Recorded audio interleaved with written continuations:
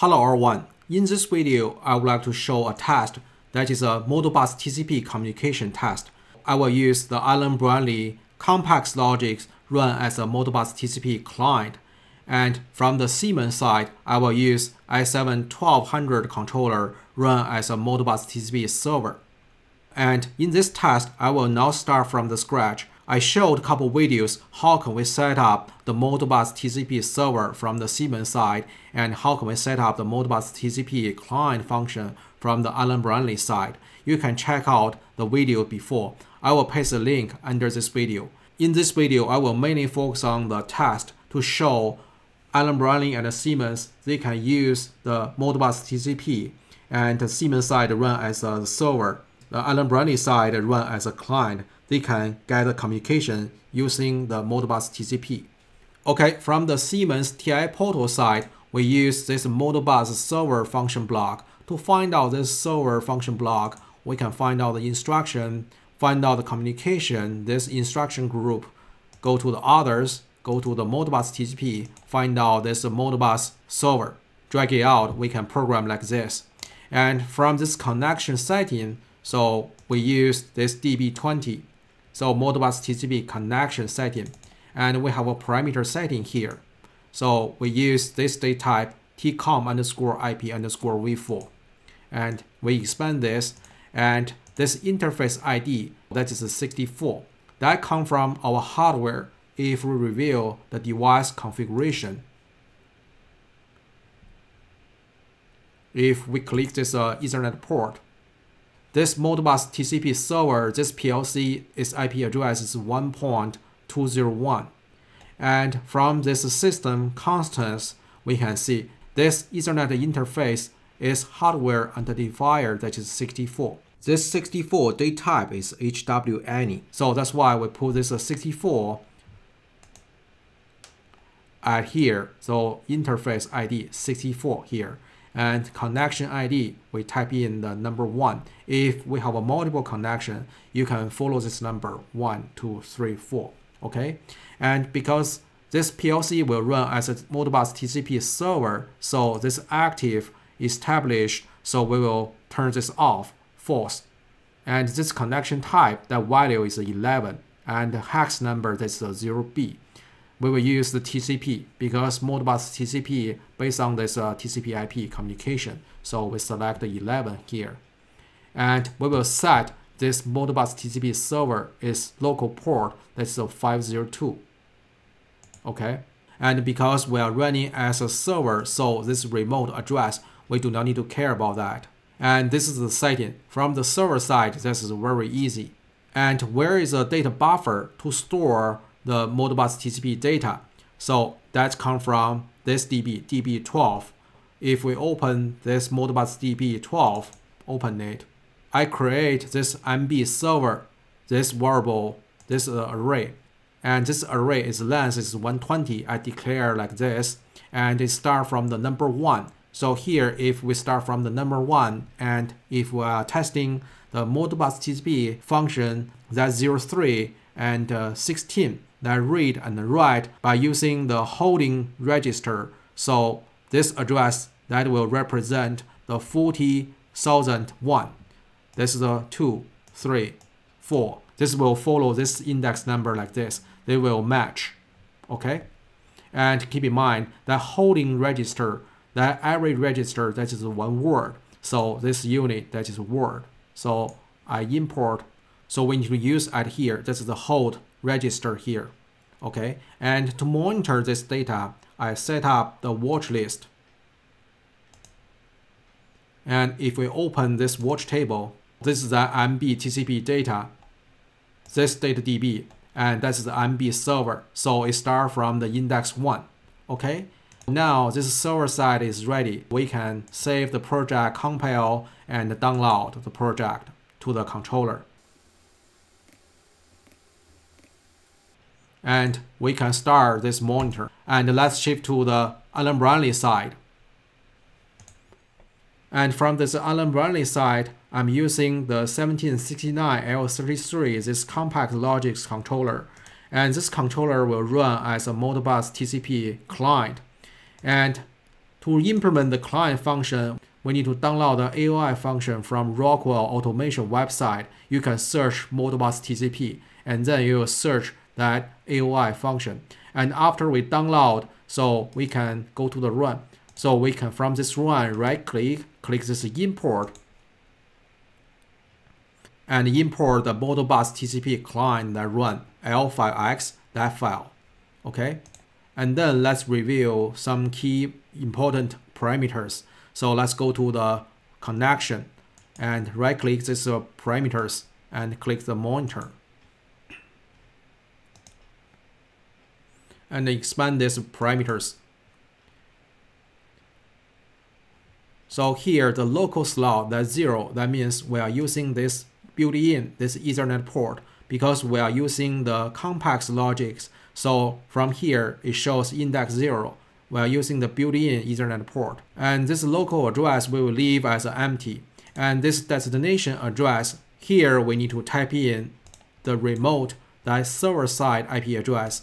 And our server, the Siemens controller, that IP address is 1.201.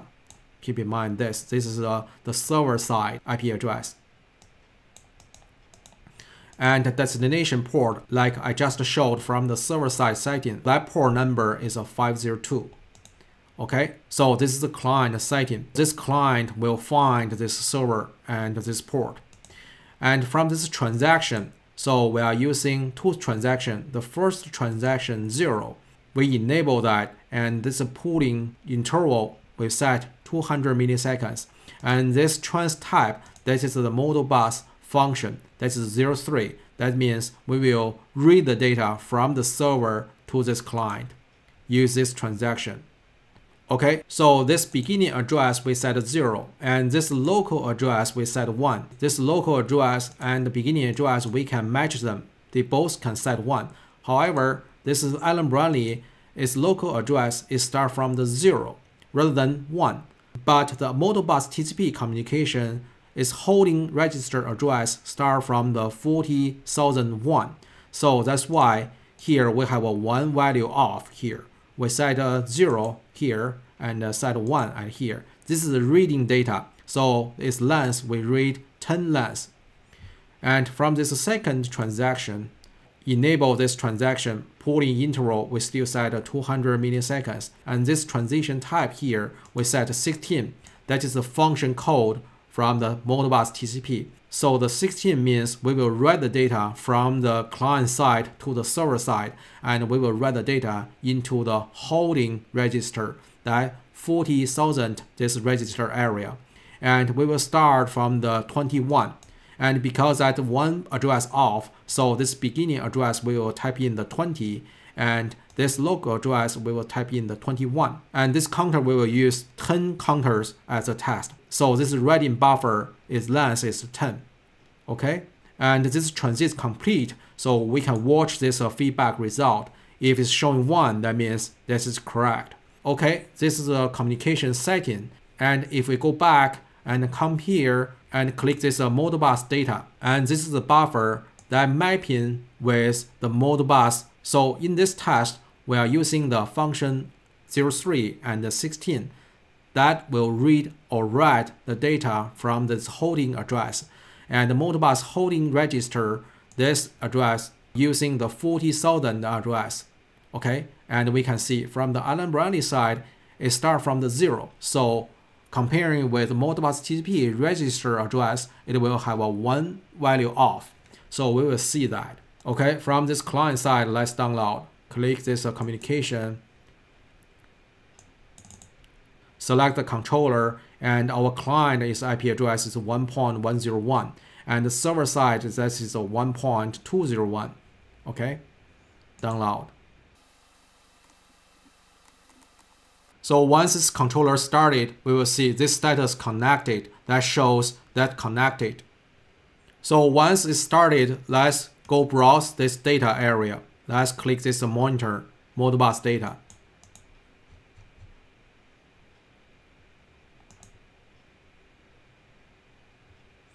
So from this transaction 0 is reading data and this transaction 1 is writing the data. So if we need to send the data from this client to the server, so we can operate the 21, that area, that Modbus TCP address. So if we scroll up and expand this data, holding register this area, let's go here from this 21 here. So we can change this type hex. So here we can write 1122 3344 5566. And because its length is 10, so the last data should be at here. So this is 30 here. So here we can prepare the data. For example, AABB. And here for testing purpose, we can write the data here, CCDD. So this 31 should not be sent to the server side. Okay, let's go to the server side. And from this server side, this index from number one that match with the Modbus TCP register holding address, that is a 40,001, 2, 3, 4, like this. So, and from the client side, it writing the data as this Modbus 40,021. So we can see this is the first data, 1122, 3344, 5566, right? And the last data, and its length is 10. So from here to here, this is 10 data here. And that CCDD will now be sent because the length is 10. Okay, now at here, we can prepare the data. So here we can prepare the 1, 2, 3, 4, 5, 6, 7, 8. And A, B, C, D. We prepare those three data here. In the meantime, we can go to this FC20 and he's a monitor. And let's watch this status. So this server shows 7006. That means this status is correct. If we hit the F1, this is the help of the Modbus server. So if we scroll down and click this status, and we can see this is 7006. That means data is being received. That means this communication is correct. Okay, let's shift to the Allen Bradley side. Let's watch if the client receives those data correctly. Okay, as we can see, because we did that one off from the setting side, so that makes this number one match with the Modbus TCP. So that first data 1, 2, 3, 4, second 5, 6, 7, 8, and third A, B, C, D. So we skip this 0. This index 1 that match with the Modbus TCP holding register address that 40,001. Okay, if we quickly review the setting we did, this local address, we start from the 1, and this beginning address, we minus 1. Now, ideally, it should be 1. That's the same as this, but we minus 1. That makes this a that makes this index number match with the Modbus TCP register address. And from this transaction 1, it's the same thing. So this beginning address, this is 20 and this local address this is 21. Here, this 20 will minus 1 from this 21 here. That makes that index number matching with the Modbus TCP register address. And the length is 10. And this transaction complete signal, it shows 1. That means it's communicating there. Okay? And if we go back to this client, that means the communication, they are correct. Okay? And here I would like to show, so we can see this status shows overlap, sometimes it's turned on here.